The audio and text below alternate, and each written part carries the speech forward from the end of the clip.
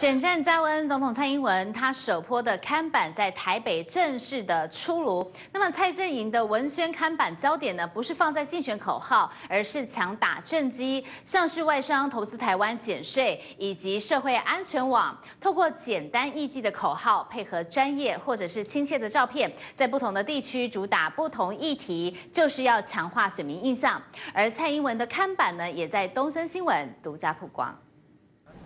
随着选战加温，总统蔡英文第一波竞选看板也正式在台北街头登场。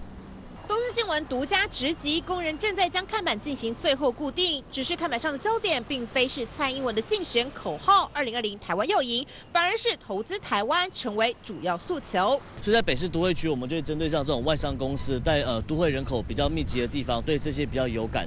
那在其他的地方呢，我们也会针对呃当地的诉求，那可能会推不同的政策，然后做不同的包装。像这一次我们在画面上所看到的，也是小英比较专业的形象。那未来在其他地方或者不同的政可能会放不同的形象，在松山商业区主打精细牌，不同于以往竞选看板，照片凸显专业清晰。这是前一阵子特别拍摄的竞选定妆照。视线这样 OK 吗？还要再高一点。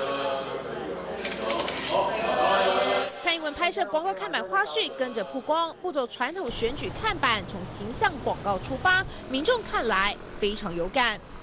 这个投资台湾这个几个几个字也很不错了。它这个挂的位置也很不错啦，这个角度很好。它照片你刚？它的设计的颜色也很棒啊，比较年轻。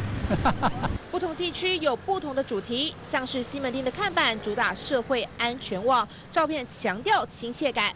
蔡正营首波看板在台北一共设置五个点，主打政绩、图像记忆，降低选举元素。接下来在各县市也将因地设置不同诉求风格的看板。选战进入最后关键，蔡正营要透过看板宣传政绩，加深印象，催出选票。